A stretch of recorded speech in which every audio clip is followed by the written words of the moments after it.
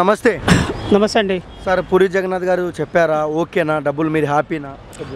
పూరి జగన్నాథ్ గారు మాకు డైరెక్ట్ మాట్లాడలేదు. మా chamber producer council secretary Prasanna గారు మా తెలుగు ఛాంబరు ప్రెసిడెంట్ సునీల్ నారాయణ గారు ఎగ్జిబిటర్ అసోసియేషన్ విజేందర్ రెడ్డి గారు అనుపమ్ రెడ్డి గారు. వీళ్ళు నలుగురు మన వారం రోజుల నుంచి మా గత ఏమేమి జరుగుతుందో వాళ్ళంతా మాకు ఫాలోప్లో ఉన్నారు.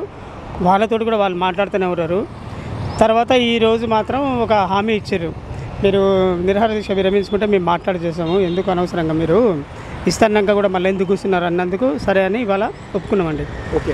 సార్ మనం చూసుకున్నట్టయితే అంటే చాలా వారం రోజుల నుంచి చాలా కష్టపడుతున్నారు. ఎందుకంటే మనందరం సినిమా ఇండస్ట్రీలో ఉన్న వాళ్ళందరూ వేరు కావచ్చు కానీ రూపాలు ఉండేటప్పుడు మాత్రం సినిమా ఒకటే. మీరు ఇంతగా బాధపడినారు కదా పూరి జగన్నాథ్ గారు ఏమైనా మీకు డైరెక్ట్ కాల్ చేసి సార్ సారీ మేము మళ్ళీ ఇచ్చేస్తాం మీకు అది తొందరలో. నేను ఏమన్నా మాట్లాడారా ఆ విధంగా? మాట్లాడలే కాదు అంతే సినిమా ఉందిగా ఇస్మార్ట్ శంకర్ టూ ఉంది రేపు.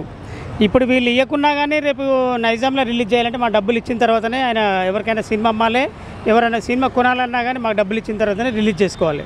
అప్పటిదాకా మాత్రం ఇవి చర్చలు ఒకవేళ విఫలమైనా కానీ ఆయన నైజాంలో సినిమా రిలీజ్ చేయలేడు. అది మాత్రం గ్యారంటీ.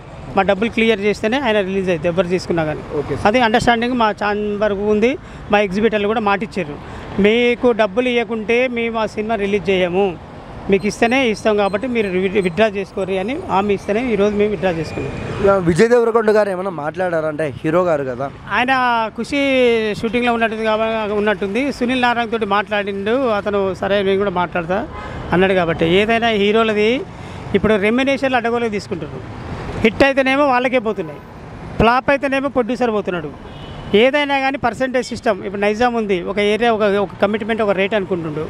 ఆ రేట్ కంటే ఎక్కువ వస్తే తీసుకోర్రి. ఆ రేట్ కంటే తక్కువ వచ్చినప్పుడు మినిమం ఆ రేట్కే తీసుకోవాలి. అప్పుడు ఎవ్వరు లాస్ గారు.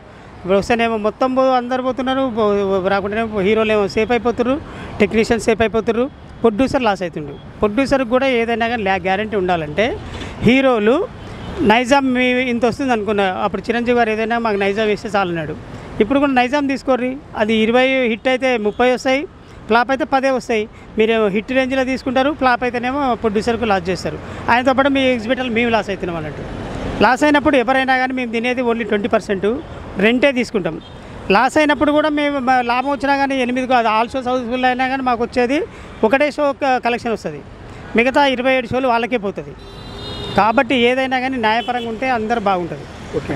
సార్ ఇంకొక విషయము అంటే చాలా సినిమాలు హిట్ అవుతున్నాయి ఎగ్జిబ్యూటర్లు చాలా ఇబ్బందులు పడతాయి ఎందుకంటే చిన్నవాళ్ళు సేమ్ టైము ఇలాంటి ఇబ్బంది ఈ వారం రోజులు చాలా కష్టాలు పడినారు చూస్తున్నాం మేము కూడా మన ఆడియన్స్ కూడా చూస్తున్నారు ఇలాంటి ఇబ్బంది రాకుండా ఒకసారి ఇలా మీరు రోడ్డు మీదకి రాకుండా ఏం చెప్తారు సార్?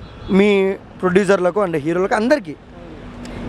ఎవరైనా భాగస్వాములు ఉండాలి. హిట్ అయినప్పుడు అందరూ తినాలి. లాస్ అయినప్పుడు కూడా అందరు భరించాలి. ఓన్లీ ప్రొడ్యూసర్ మీద నూకడము ఎవరైనా కానీ ఇప్పుడు హిట్ అయిపోతున్నాం అందరూ పంచుకుంటారు అన్ని బిల్డింగ్లు కట్టుకుంటున్నారు అవి అట్టనే ఉంటున్నాయి. వాళ్ళకి ఏముంది పెట్టుబడి లేని వ్యాపారం ఆర్టిస్టులకైనా డైరెక్టర్లకైనా టెక్నీషియన్ కన్నా పోతే మాత్రం ఓన్లీ ప్రొడ్యూసరే రోడ్డు మీద పడుతున్నాడు. ఇక్కడ డిస్ట్రిబ్యూటర్ ఎవరైతే పెట్టుబడి పెడుతుండో వాళ్ళే లాస్ అవుతున్నారు పెట్టుబడి పెట్టిన వాళ్ళు ఎవరైతే ఉంటే వాళ్ళ లాభాలు ముందుతున్నట్టు ఏదైనా ఈక్వల్ ఉంటే అందరు బాగుంటారు ఇంకా కొన్ని సినిమాలు వస్తాయన్నట్టు. ఇప్పుడు ఓటీటీల మీద వాళ్ళు సేఫ్ అయిపోతారని వీళ్ళు అంటారు మా ఊళ్ళని మీకు డేట్లు వస్తున్నాయి రేట్లు వస్తున్నాయని వీళ్ళు అంటారు మరి రా వస్తున్నాయి కరెక్టే. రానప్పుడు కూడా మీరు భరించాలి కదా. అది మేము అడిగేది ఎగ్జిబిటర్గా. సరే సార్ హ్యాపీనా మీరు ఇప్పుడు? ఓకేనా మీకు? హ్యాపీనా? హ్యాపీనా హ్యాపీ అంటే వాళ్ళు పేమెంట్ ఇచ్చినప్పుడు హ్యాపీ. లేకపోతే సేమ్ ఇక వాళ్ళకే వదిలేస్తున్నాం అన్నట్టు. మీ నమ్మకం మీద మేము ఈరోజు విత్డ్రా చేసుకున్నాము. రేపు చేయలేదనుకో ఎవరి కర్మ వాళ్ళే అనుభవిస్తారు మళ్ళీ. పక్క డబ్బులు వస్తాయి.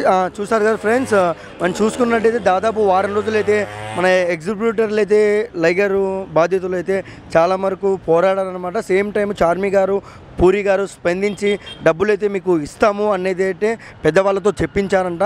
ఇప్పుడైతే మొత్తం అయితే ఇప్పుడైతే మొత్తం క్లియర్ అయిపోయింది. ఇక మరి రెండు మూడు రోజుల్లో వాళ్ళకి ఎంత ఇస్తారు ఏంటి అనేది అయితే వాళ్ళే రివీల్ చేస్తారు. ఇంకా okay? Please like, share, comment, subscribe.